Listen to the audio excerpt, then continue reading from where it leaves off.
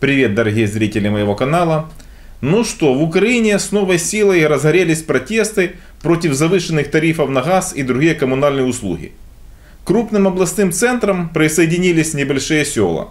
Украинцы по-прежнему перекрывают трассы и требуют отстранения должностей чиновников. Вчера, наконец-то, на митинг вышли киевляне. Также проходили митинги на Полтавщине, Херсонщине, в Одесской и Черкасской областях. А в Житомире жители города взяли штурмом здание облсовета. э, полицию и ограждения. Вот те ограждения, которые мы снимали в 2014 году, они опять появились под видом коронавируса. Гляньте, люди пошли, сейчас как раз происходит, проходит президио облрады по поводу собирать сессию или не собирать. Я считаю, что вопрос вообще неуместный. Я считаю, что именно депутаты должны стать на защиту простых граждан. Именно для этого мы их избирали. И как я уже говорил, наконец-то проснулись киевляне. Они собрались на Майдане Незалежности в центре Киева и требовали от властей реально уменьшить тарифы на газ и его распределение. Ну а теперь давайте послушаем народного депутата Александра Качного. Вы впервые увидели народ на улице, не за деньги. Вы же поймите, они вас сейчас снесут за две минуты. Вот сейчас чуть холода уйдут, люди э, в феврале получат новые платежки, это же они еще по старым платежкам выходят. Только слышат, что будет за проблема у них. Только слышат. Они уже сейчас не могут ничего купить. Как только новая платежка придет, вы просто увидите, что будет здесь происходить. И политические силы здесь вообще ни при чем. Вот поверьте, нет никакого организационного процесса. Когда начинается голодный бунт, это самый страшный бунт. Я полностью согласен с Александром. Когда ты отдашь последние деньги за газ, за свет, за тепло, когда тебе не за что будет купить продукты и лекарства, то волей-неволей ты выйдешь на улицу. И здесь уже не будет никакой политики. Здесь начнется борьба за выживание. Когда люди поймут, что им не за что будет купить продукты для своих детей, то они пойдут на любые крайности. А когда Александр говорит про голодный бунт, то у меня, если честно, аж мурашки по коже бегут. Неужели наша власть не понимает, что толкает свой народ на самые решительные и страшные действия? Но вы доводите страну именно до этого. Мало того, вы, у вас потеряно чувство самосохранения. Когда люди начинают зажироваться, они вот жир, вот это, знаешь, в глазах жир, вот они не видят, что происходит, замазанные глаза. И у вас ситуация такая, вы не чувствуете пульс народа сейчас. Вы не понимаете, что народ до такой степени сейчас взвинчен, что вот этот, э, э, это, это только ласточка первая, вот в- при таких морозах вышли. Завтра начнут объединяться ФОПы, объединяться, а- объединяться все, все предприниматели и все люди, которым не Давайте за что дамо платить, можливість выйдут відповісти пенсионеры, Машинець. старики. Вы представляете, что такое полиция разгонять стариков будет? Пані Олено, це з страшна приводу того, що Не дай бог, чтобы мы дожили до того времени, когда полиция будет разгонять стариков. Ведь тогда на защиту стариков выйдут их дети и внуки. Повторюсь, не дай бог нам дожить до такого. И задача нынешней власти этого не допустить.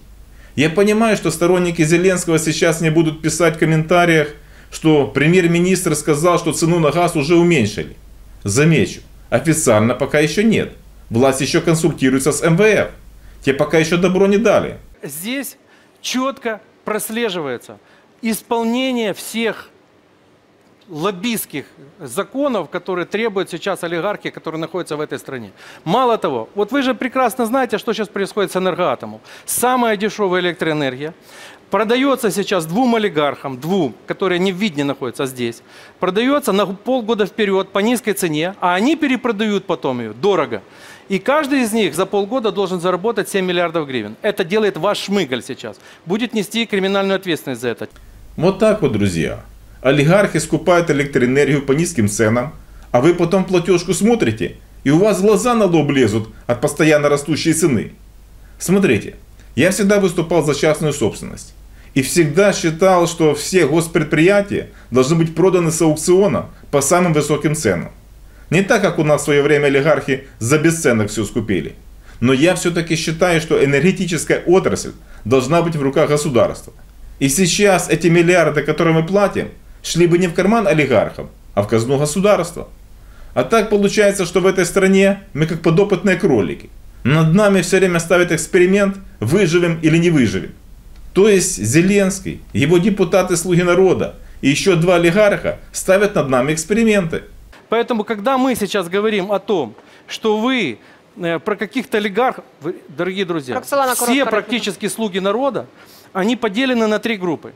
Три олигархические группы завели вас всех туда. Почему я за то, чтобы этих, э, этот закон все-таки прошел конституционное э, решение по 300 депутатам? Не потому, что нужно сократить депутатов, а потому, что там нужно убрать мажоритарку. Мы уже давно поняли, что депутаты фракции «Слуги народа» – это не депутаты партии Зеленского. Эти депутаты давно уже легли под олигархов. Этих депутатов давно уже купили с потрохами. А о том, что у нас сильно преувеличено число народных депутатов, речь идет уже очень давно. Но депутаты не хотят голосовать за это, понимая, что они рубят сук, на котором сидят. Обратите внимание, все мажоритарщики при этой тотальной политической коррупции, зайдя туда, распределились по конкретным группам влияния и подголосовывают власти во всех вот этих лоббистских законах, которые грабят сегодня население. Вот как говорят им сегодня олигархи голосовать, так эти группы мажоритарщиков и голосуют.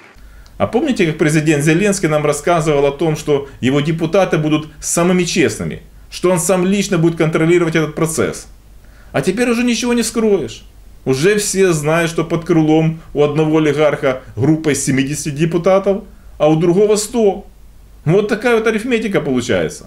Обидно, что люди поверили этим народным избранникам. Поверили их обещаниям. А на деле, став депутатами, их избранники сразу же легли под олигархов. А вообще, друзья, смотря на то, что в последнее время происходит в Украине, понимаю, что чудес на свете не бывает. 42% населения Украины назвали президента Зеленского разочарованием года. А по опросам фонда Gallup International, Украина вошла в пятерку самых несчастливых стран мира. То есть мы пятые с конца. Поэтому вывод напрашивается сам по себе.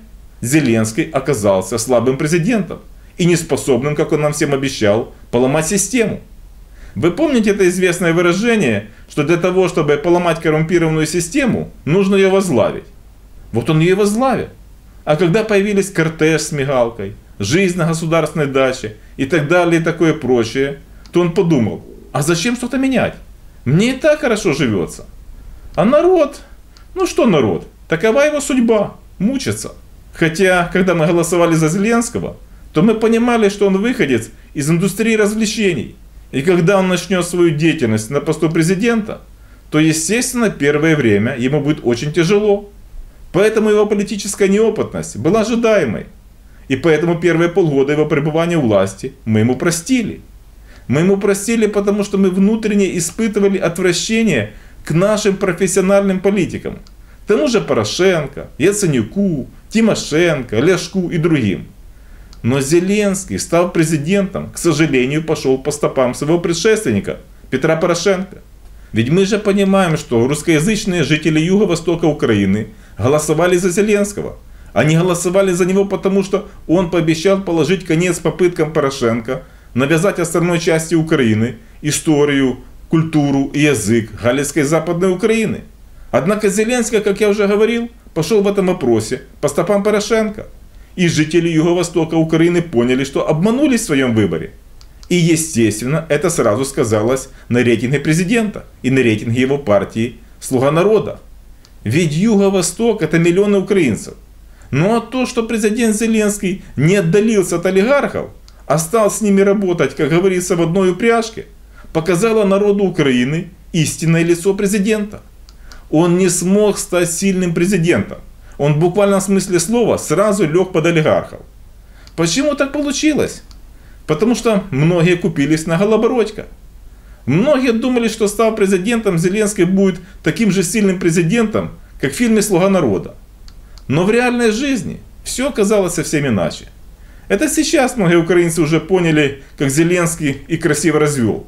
Это сейчас они поняли, что в фильме он другим и не мог быть. Потому что он тогда бы не понравился нам. И мы не избрали бы его президентом.